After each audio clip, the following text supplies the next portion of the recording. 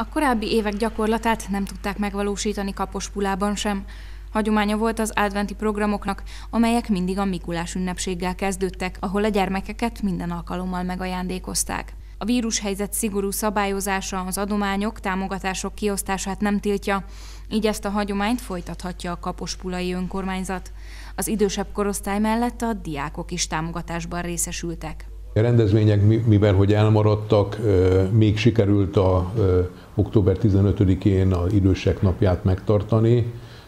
Ott ugye a 70 év fölötti időseket 5000 forinttal tudtuk támogatni.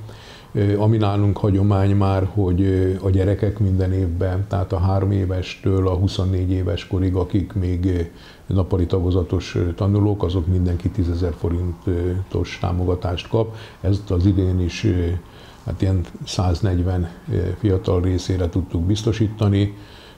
Ezzel egy kicsit hát a szülőket is próbáltuk tehermentesíteni, és hát bízunk benne, hogy azért a gyerekek is értékelik ezt. Nehéz elszakadni a jól bevált és a közösség által igényelt gyakorlattól. Teljesen új ötleteket és megvalósítást kíván minden embertől, legyen szó a mindennapokról vagy az ünnepi várakozásról. Mivel a rendezvények elmaradnak, én úgy gondolom, hogy most próbálunk egy kicsit kedvezni és egy kis karácsonyi hangulatot teremteni. Mindenkinek küldünk egy kis karácsonyi üdvözlőlapot, egy naptárt, egy kis szaloncukrot az időseknek, egy nyugdíjas naptárt és kalendáriumot naptárral együtt. Kapospulában is bíznak a jövő ígéretében, hogy 2021-ben új erővel, lendülettel vághatnak bele terveik megvalósításába, teljesen más szabályok mellett.